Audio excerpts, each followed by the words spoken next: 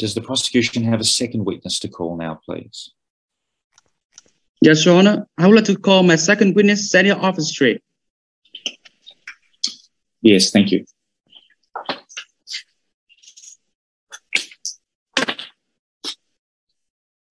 Senior Officer Strait, stand up, please. And raise your right hand. Do you promise that the testimony you saw given the case before this court shall be the truth, the whole truth, and nothing but the truth? Yes, I promise to tell the truth, the whole truth, and nothing but the truth. Sit down, please. You may proceed. Your Honor, I will now proceed chief examination with, uh, with Senior Officer Strait. Yes, yes, thank you. Senior Officer Strait, could you introduce yourself to the court? My name is Senior Officer Strait. I am 49 years old and have been a member of the Zaltano Police Force for the past 16 years. I have worked as part of the traffic control unit for the past nine years. Okay, Senior Officer Strait, can you elaborate on the job? I have conducted numerous traffic checkpoints as part of my job responsibilities. We sometimes need to perform dangerous jobs to protect the public from potential threats. I am entrusted by law to be responsible for the safety of people of Saltano. So how trained are you in terms of accepting possible threats? Public safety is our duty and also first priority. We are trained to not only instinctively assess risk as part of our job, but also to respond timely, immediately, effectively, and efficiently.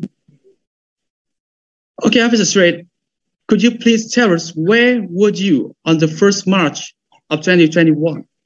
I was in charge of operating a traffic checkpoint on the corner of Pacific Avenue and Astor Road because we had received reports of drugs being moved along that route. So what was happened at 11 a.m. at the checkpoint? I directed a black BMW into the checkpoint and asked for the driver's name and identification, like I do for every other car at the checkpoint, as a standard protocol we follow. However, I noticed that the driver, Parker, appeared to be very nervous and she was restlessly playing with her pockets. Her eyes were bloodshot. She was constantly moving her hands and looking at her watch. She even avoided direct eye contact with me. So, in Officer Strait, what did you do next? I informed the driver that I would need to conduct further investigation of the car and directed both Parker and Carrier to step out of the car with their hands visible. I questioned Parker about the nature of the packages that she was transporting and if she was hiding anything. So, how did the defendant respond to you? Parker refused to disclose the nature of packages and responded in an aggressive tone, complaining that she was in a rush and I was wasting her time. Such behavior is very unusual at checkpoints where most drivers cooperate with us to perform our duty. Okay, Senior Officer Strait, how did you respond to this situation? I asked Parker if I could frisk, perform a frisk search on her. She did not just refuse, but also became aggressive by flailing her arms and yelling at us. This visibly I object, Your Honor. Yes, uh, what's the nature of the objection, please? The witness is giving an opinion by stating that Miss Ultra Parker was aggressive. Okay. Um, Your Honor, I may respond. yes, yes, please. Your Honor, that the attitude of Ultra Parker at the checkpoint is actually a common sense that our normal people can easily see that. So aggressively, it may be the opinion of Officer Strait, but then it could be the common sense that most of people can know it. Hmm. yes. So, defence advocate, uh, is there anything more that you'd like to say about this this objection in the sense that um, I think a witness is, is able to um, give evidence about matters that are generally held to be within common human experience, uh, and witnessing a person being aggressive is something that, that probably falls within common human experience. Is there, is there anything that you say that offends that principle and goes beyond that about, about this particular piece of evidence? No, but the witness can explain how um, he how Miss Parker reacted um, w- without telling that she was ex- uh, aggressive, without So giving you- an opinion. so do you say that aggr- that aggressive is really a conclusion? It's an opinion that is really a conclusion that is drawn um, as a result of observing certain behavioural actions. And do you say that the witness should really be confining their evidence to a more specific description of the behaviour that, that she saw? Yes, Your Honor. Yes. Um, uh, Mr. Prosecutor, is there anything that you say in response to that? Your Honor, I still keep my opinion about the, the using the word aggressive. It actually that since officer and a standing officer, she is an experienced officer, so she mm. can consider what is that attitude before, what is the attitude of Alger Park at that moment. She can consider it carefully. Yeah. So you, so you, so essentially you, you say an experienced police officer knows aggressive behavior when they see it. Yes. Yeah. Sure. What, what, what do the other judges think about this? Yeah. So I think it's, it's, uh, I mean, it's a, it's a good point uh, that if the witness only said aggressive, then, you know, we, we might be in difficulty. Although I don't know if we would be inclined to sustain the objection. It's just that it's an opinion and it has no deal to, detail to back it up. Uh, the, the witness here said uh, she she was aggressive and then explained with two very detailed uh, observations. Um, mm. So I mean I, I I I think as is um, it, it's I, I, don't think we need to sustain the objection, but uh, but perhaps uh, we we can just uh, encourage the the witnesses to and and the counsel to ensure that we get detailed observations and not merely a, kind of a you know a you know a, a broader term like aggressive. Mm. Any Judge, Judge Bales, I, I think that um, that uh, and what Judge uh, Wellenbridge says is uh, I, am mostly in agreement. However, I, I, think the question may be better placed uh, where the witness says, I believed her to be aggressive, because otherwise it's a conclusion. And then, of course, there could be a follow up question is why did you believe her to be? But I don't think the witness should be able to say she was aggressive. It's, it's a personal opinion. And I think it simply can be stated as, I believed her to be aggressive. And then the question could be, why do you, but, but otherwise, if the witness says she was aggressive, I think that may be a bit conclusionary. And, uh, I think maybe that, that may fall within our purview.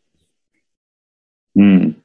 So, um, I mean, in, in that sense, uh, Judge Lasky, are you of the view that perhaps the, the question may not be objectionable, but, but perhaps the manner in which the evidence has been given is possibly it's probably borderline, but perhaps it falls on onto the side of of being uh, more of a, con- a, conclusion rather than rather than a description or a, a, description of the person's of the witness's belief. Yes, I mean again, and as we have, if if we have, as judges just accepted that that's that's the opinion and it's not mm. an absolute fact or conclusion, you know, then I, I, don't think there's there's a harm in it. But it, more, it may be in form more proper for the witness to say, "In my, mm. I believed her to mm. be." Mm. Uh, so it shows that witness's state of mind as mm-hmm. to why the witness then mm. acted, as opposed to the witness saying she was. Sure.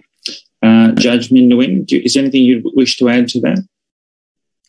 Uh, I, I, I actually think like um, we should not sustain the, the objection, but uh, but uh, at the meantime, I think like for the purpose of education um, of the uh, person who plays the role of uh, senior officials chat, uh, we can uh, follow the suggestion from Bruce uh, from mm. Lasky. Yeah. Yeah, thanks. Okay, so look, I think I'm minded. Uh, I'm, I'm, not going to overrule the uh, the evidence in its current form, but I think, uh, Mr. Prosecutor, you've heard the comments from the judges, uh, and so I would suggest that you might like to take that on board in terms of how the evidence is going to be received, um, and you might want to um, revisit the issue and perhaps break down your questions a little bit more to elicit uh, evidence in a little bit more in a little bit more detail than has been given so far.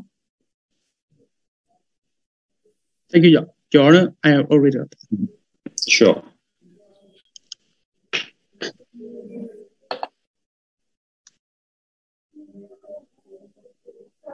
So I will now rephrase my question, please. Okay, so senior Officer Shade, how did you respond to this situation? I asked Parker if I could perform a frisk search on her. She did not just refuse, but started flailing her arms and started yelling at us. This visibly strange behavior made me reasonably suspicious. Her body language made it seem to me as though she was panicking, maybe scared or defensive, or maybe hiding something. So, what did you decide to do next? I told Parker that I wanted to conduct an investigation as efficiently as possible and that both of them could continue with their business if they were not hiding any dangerous weapons. Not just this, Parker suddenly started reaching into her pocket for an object that I could partially see but was unsure whether it was a stress ball or if it could be a weapon. Senior Officer, what did you find as a result of the frisk search? I found a stress ball in the area of her clothes that she was searching for, but I still had to make sure she did not have a weapon on her, so I continued to do the frisk search.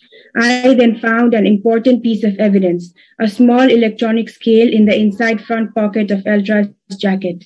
From my experience, such scales are commonly used by drug dealers when proportioning out small quantities of drugs for individual sale. Officer, what made you conduct a search of the car?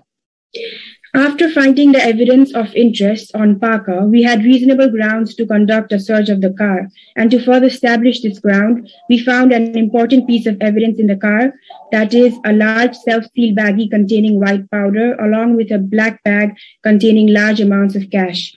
From my past experience, this is the type and size of a baggie drug dealers use to transport one kilogram of cocaine. Okay, so officer, what happened after you arrived at the station?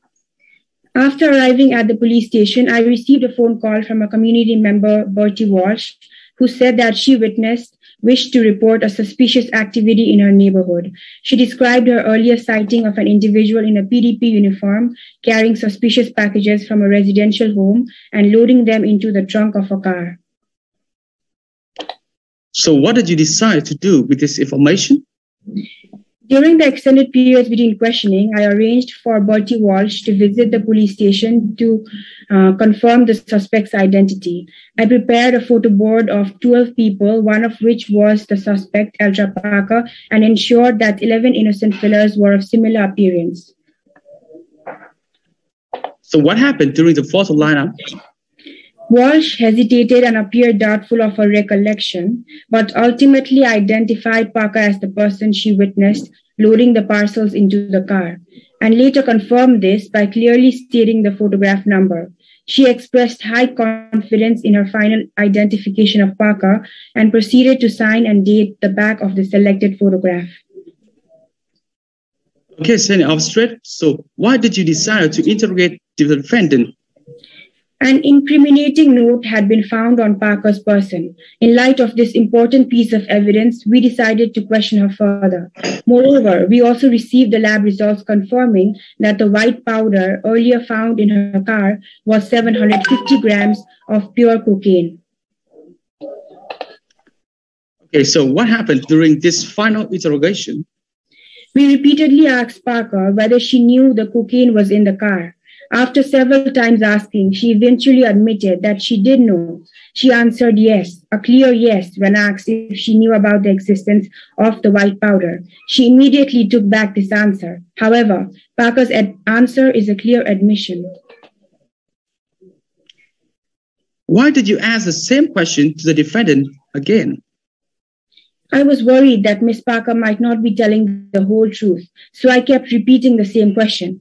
As per my experience, we need to ask the question multiple times to get an honest answer during interrogation. Okay, Officer last question. Can you elaborate for the court about the duration of the interrogation? While Parker was detained for nearly eight hours, for most of this time she was not being actively questioned. We made sure to follow the rules, and the interrogation lasted for less than four hours. There were extended periods between questioning where she was given ample opportunity to rest, like it is done for every other detainee in custody. Thank you, Senior Officer. No more question for answer, Officer. Thank you, Your Honor. Thank you, Mr. Prosecutor. Um, defense, do we have cross examination of Officer Strait? Yes, Your Honor. Yes, thank you. Um, I'd like to proceed with the cross examination. Good morning, Officer Strait. Good morning. Considering the court's valuable time, I request you to be short and precise while answering the question. So, Officer Strait, were you on duty on 1st March 2021? Yes. You then stopped an old model black BMW at the checkpoint. Is that correct? Yes. Did you see two people inside the car? Yes. You then recognized one of the passengers. Is that correct? Yes. He was Dane Carrier, isn't it? Yes. You once arrested him before, right? Yes. Did that make you more suspicious about um, Miss Elcha Parker? No. I object, Your Honor. Yes, what's the nature of the objection? Your Honor, the question that the defense advocate asked the senior officer is based on the grounds for objection as a tendency. It means that the defense advocate was asking about the previous arrest record of Daniel Carrier. Mm.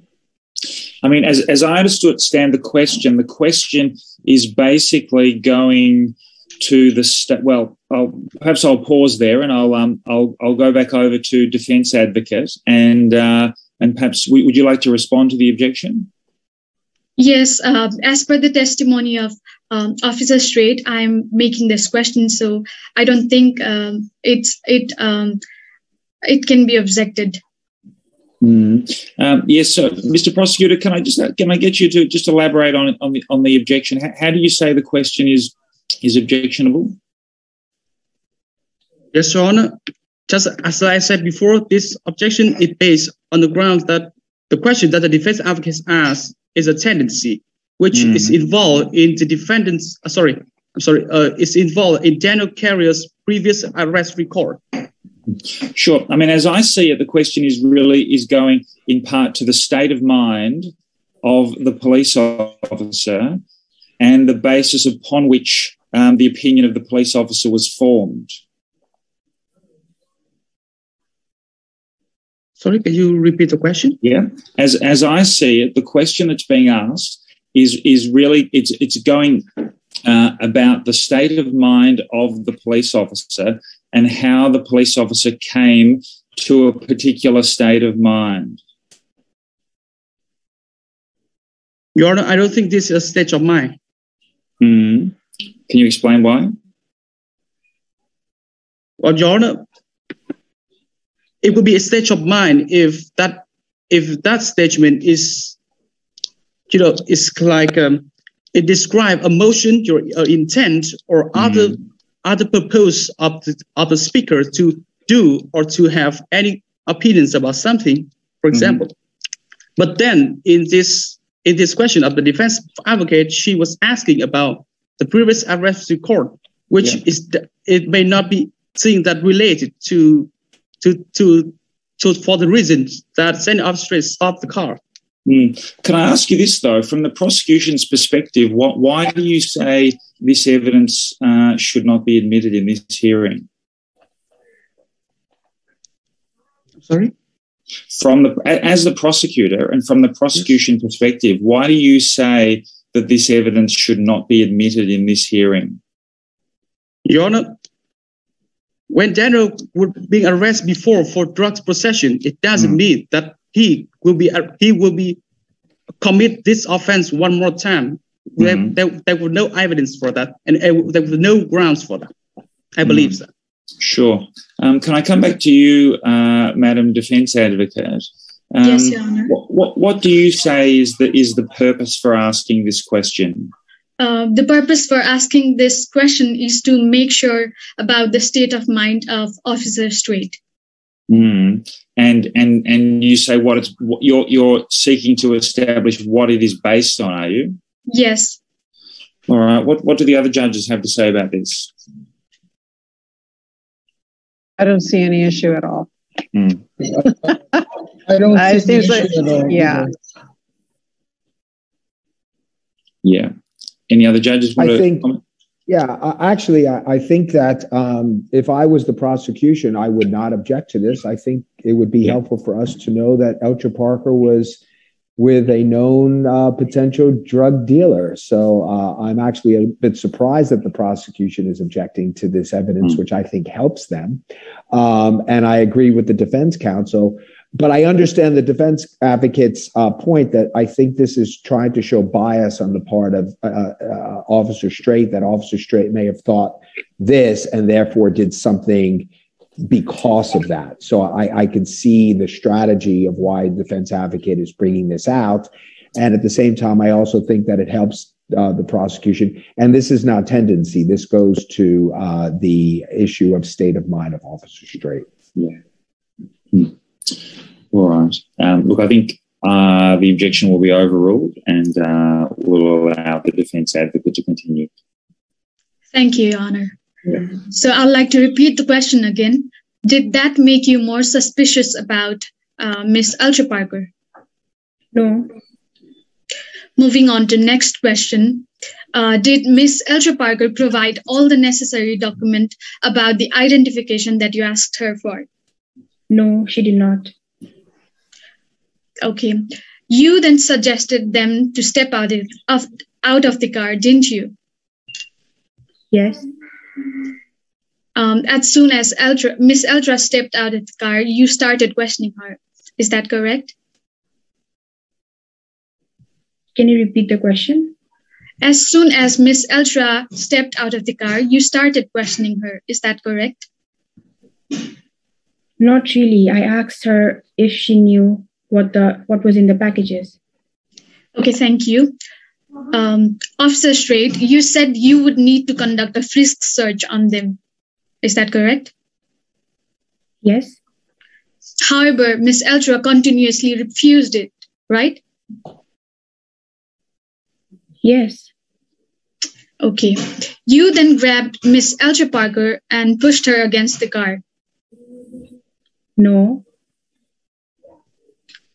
You uh, finally conducted a frisk search. Is that correct? yes, I had to. But uh, you did it without her consent. Am I right? Yes, because I had reasonable suspicion that she could have a weapon on her. Thank you, Officer Strait. Um, did you have a search warrant? Sorry, can I express a little concern about any witness saying that what they did was reasonable? I mean, I guess they can have that opinion, uh, but um, about their own actions. But uh, this has happened a couple of times, and uh, I, I, I'm a little concerned about it. So maybe I can just express that concern.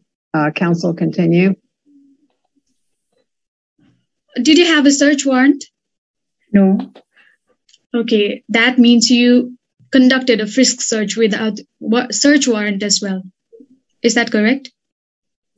The law allows me to do so in special circumstances like this one. So yes, I did. Did, okay, did Parker say to you about the stress ball which she was reaching for? No, Did you partially saw the stress ball which she was reaching for? no, Did you partially saw the stress ball which she was reaching for? I partially saw the object. I was not sure what it could be. Okay, thank you. Uh, did you continue to conduct the frisk search after finding the stress ball? Yes, Okay, at the end, did you find any weapons? not particularly. Uh, now, directing the court's attention towards the issue of photo identification board. Officer Strait, you prepared the photo lineup for Bertie Walls, is that correct? Yes, Miss Bertie Wall specially mentioned about the PDP logo and blonde hair color of the person. Am I right? I object, Your Honor. Yes. What's the nature of the objection? Your Honor, the question that the defense advocate asked Senior Officer is also a double question again. Mm-hmm.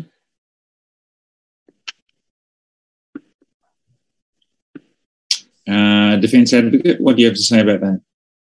Your Honor, it's not a double question as uh, per the test, as per Bertie Walls, he specifically mentioned about PDP logo and blonde hair color together. So that's why I'm asking this question. Sorry, can you just repeat that? He specially uh, said about the PDP logo and blonde hair color mm, as a whole. mm. Um, yeah, I mean, they are two separate issues. They are two separate factual matters, though, aren't they? Yes. Yeah. Uh, Other judges, what, what, what do you have to say about this?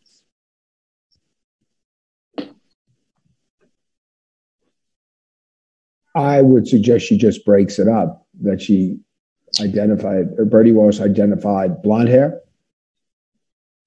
Second question, identified logo. It is Yeah. two separate fund. So just break the Mhm. question up into two questions. Thank you, That would be Honor. my- I would like would to be- proceed. be- Yeah. If, Other if, look, if there's nothing don't know if further from, uh, yeah, if there's nothing further from any other judges, I would probably sustain the objection and suggest that the, that the that the question be broken down into the two separate factual matters. Yeah, and, and counsel, uh, I mean, unless the, my fellow judges object. So fact one, fact two, and then the third question can be, and you mentioned both of those together at the same time, correct? Right. Yeah. Um, okay, Officer Strait, uh, did Bertie Wall specifically mention about the PDP logo of the person? Yes, Did C also mention about the blonde hair color of the person? yes, Okay. Did you show Ber- Bertie Wall's 12 individuals in the photo lineup board? yes, Were all the 12 people with similar appearance? yes, Officer Strait, just two out of 12 people had blonde hair. Am I right? yes, While Bertie Walls was making an identification, did you ask if the person was a photo number three? no, Okay. Moving on. Did Bertie Walls confirm the photo was photo number three? yes, Okay, moving on to the issue of interrogation. Officer Strait, you and Officer Momo asked the question to all Eltra. Miss Eltra, is that correct? excuse me, what was the question? You and Officer Momo asked the question to Eltra, Miss Eltra, is that correct? Yes, we asked her a question. Is it true that Miss Eltra kept denying any knowledge about the powder found in her car? Yes, she did not cooperate. Um, yet you kept asking the question again and again. Is that correct? Yes, we repeated the same question. Um, Officer Strait, uh, you said to Alter, Elt, Miss Eltra that she had the right to remain silent. Am I right? Not during the interrogation. Uh, okay. Before that, you also said that she need not answer your question. Am I right? Excuse me, could you repeat the question? Before the, interrogate, the interrogation, you said she need not have to answer all your questions. Is that correct? Not during the interrogation, right? Yet, uh, during the interrogation, you kept asking the question again and again. Is that correct? She had to answer us during the interrogation. That is the entire purpose of interrogation. But isn't, uh, you said she had the right to remain silent. Isn't that true? No, I did not say it during the interrogation. In fact, I said her that she should cooperate with us. Okay. Did Park, Miss Parker immediately took back the sta- statement after answering yes to your question? Yes, She just said one word, yes. Is that correct? yes, a clear yes. Okay, and now turning the court's attention towards the uh, time the Miss Elja Parker was interrogated. Officer Strait, have you kept a record of the time Parker was questioned? Not a detailed record, but we did keep track of time. Thank you. You have been working as a police officer for 16 years now. Am I right? Correct, You are a senior officer. Am I right? correct. So isn't it your duty to keep a record of the times he was detained? We are not specifically required by law to keep a detailed record of time. However, we do keep track of the time. Okay, thank you, Honor. No further questions. All right, thank you, Madam Defence Advocate. Uh, Mr. Prosecutor, do we have any re-examination of this witness? Thank you, Your Honor. I would like to have re-examination questions for Senior Officer May I proceed? Yes. For Your Honor, may Okay, Yes, thank go you. ahead. Senior Officer Strait, why did you decide to conduct the frisk search? As a cautionary public safety measure, I conducted a frisk pat down search of both Parker and Carrier to prevent any potential harm that could be caused by a dangerous weapon. I had no way of knowing what the object could potentially be, and due to Parker's unusual, suspicious behavior, I had suspicion to immediately conduct a frisk search of her to confirm that there was no dangerous weapon that could threaten public safety. So why did you say that all the 12 photos were similar appearance when only two of the photos had blonde hair? Hair color is only one element of a person's appearance because there are numerous other identifying characters that make up a person's identity. Moreover, the law does not specify that all innocent fillers must have the same hair color as the suspect. In fact, if hair color was really the make or break in this identification, Walsh would not so confidently identify a particular photograph with blonde hair. He would most likely have been confused between the two blonde haired photographs. Last question for you, Senior Officer. Why did you record the interrogation time of the defendant? The law does not specifically require us to keep a record of the interrogation time. However, since we are experienced at it, we are sure that we followed the law and detained Parker for less than eight hours and questioned her for less than four hours. Though we did not keep a detailed record of the time duration, we have an overall record and we did keep track of time. This is how we can confidently affirm it. Thank you, Senior Officer No more further questions for Senior Officer Thank you, Your Honor. Before we release this witness, sorry, I'm confused. I understand that no time records were kept, but the officer is also testifying that they kept track of time. So, could counsel please clarify that if it's possible? Yes, I may clarify for you, for Your Honor. Well, as a stage of the chief examination of Senior Officer Strait, she did not have any record, but she kept track of it. It means that she can remember the time with Uh, sorry, sorry, experience. sorry, sorry, sorry. I was not asking counsel to testify for the witness. I'm asking counsel to question the witness and clarify this point. Thank you. Uh, sorry, Your Honor, is do you want to, me to ask the question again? I want you to ask the question to the witness, not provide the answer yourself. Thank you, Your Honor. Senior Officer Strait, but why did you keep the record of the interrogation time, but you keep track of it? How do you explain about? Well, we looked at the watch, and that is how we kept track of the time to make sure that we are following the rules. And interrogating her for less than four hours and detaining for uh, less than eight hours. However, we did not keep an official record with her signatures along with the suspect's signatures. That is how we did not keep a detailed record. However, to know the time, we did have to look at the watch and make sure we are following the rules. Thank you. No more further questions for Senior Officer Thank you, Your Honor. All right. Thank you, Officer Strait. Uh, that concludes your evidence. You're now excused from giving evidence in this hearing.